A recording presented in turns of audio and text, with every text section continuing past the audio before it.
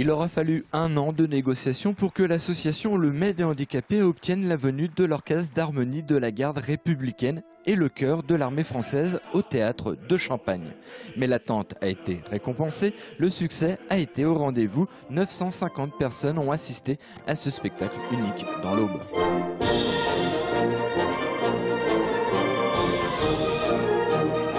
Tel événement a coûté environ 25 000 euros. La recette dégagée dépasse cette somme et l'ensemble sera reversé en faveur des personnes porteuses de handicap. Surtout pour boucler euh, une acquisition de matériel, matériel qui peut être euh, du fauteuil roulant, manuel, électrique ou surtout de la domotique. hein. On a beaucoup de demandes de sollicitations à travers les, équipements de la maison, l'accessibilité à la maison. hein.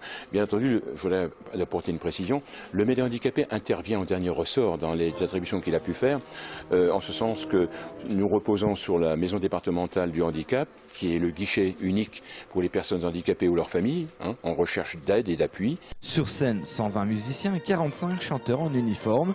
Ce spectacle était en deux actes. Dans un premier temps, le chœur de l'armée française accompagné d'un pianiste, puis l'orchestre d'harmonie de la garde républicaine.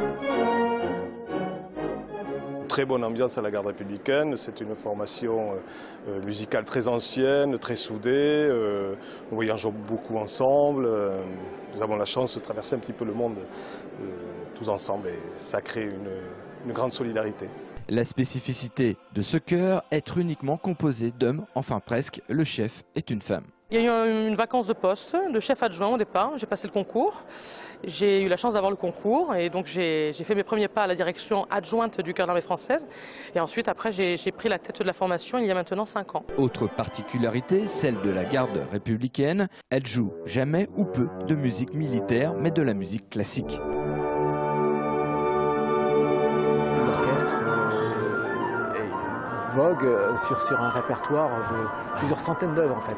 Ce succès a donné à l'association l'envie de créer un futur événement. Les idées ne manquent pas mais ne sont pas encore concrétisées. Depuis 1984, le Mai des handicapés, avec de tels événements, sensibilise le public au monde du handicap.